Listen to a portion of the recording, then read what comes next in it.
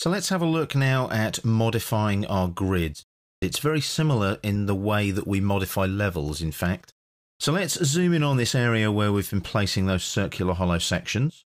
And you see we've got a whole load of grid bubbles here that we don't actually really need, to be perfectly honest. All they are is secondary grid lines so that we can place the circular hollow sections off of the main grid lines where the column centers are. So what we can do here, we can click on each one and if I just pan down a bit, there's the little tick box. I'll untick that on that one and hit escape like so. I'll click on this one, click on the tick box, hit escape. And you do have to do this individually. So it's just a case of selecting each one and then clicking on the tick box each time. And then making sure you hit escape to deselect each time. So I'll click there, click on the tick box, hit escape, and now you can see that north marker for the elevation isn't really getting in the way of the grid bubbles.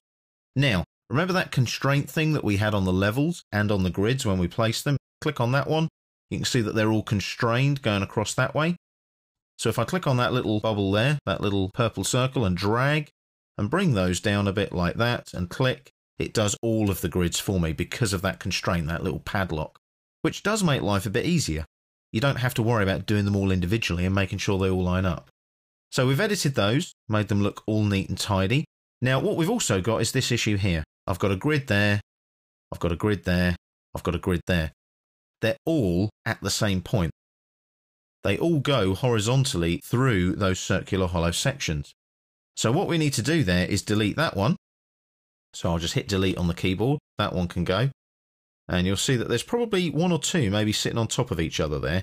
And you don't want to do that with grids, it can get a bit messy.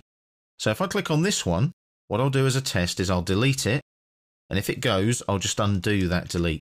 So we've got our one grid line left, and the trick there now, like we did previously with the vertical ones, is click on that grid, click on the little bubble there, the little purple bubble, and just drag that all the way through to about there.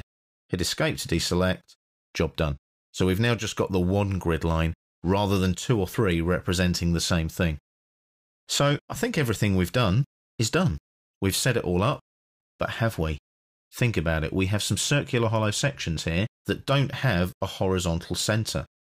So what would be neat here would be to have a grid that goes from about here to about here. So we'll zoom in a bit just to make sure. Otherwise, we've got no way of checking that distance from there to there. So we'll do a grid and what I'll do is I'll run it here and notice, look, it ties straight in to that circular hollow section for me. Click, drag it through to about here, click. Hit escape to deselect and you can see it's gone through nice and neatly. That's excellent.